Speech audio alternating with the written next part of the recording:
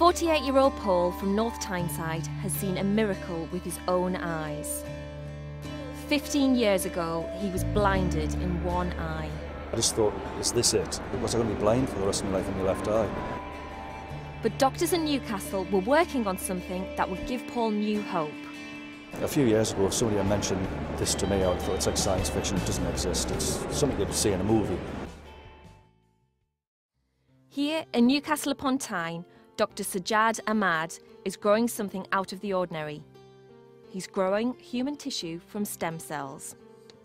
A stem cell is a cell that has the ability to give rise to other types of cells, uh, and there are embryonic stem cells and adult stem cells.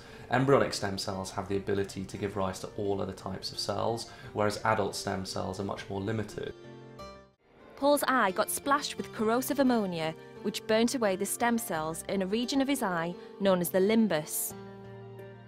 If limbal stem cells get lost or damaged, what happens is that the corneal epithelium cannot be maintained, and this results in uh, not only blindness but also constant pain from the eye. Adults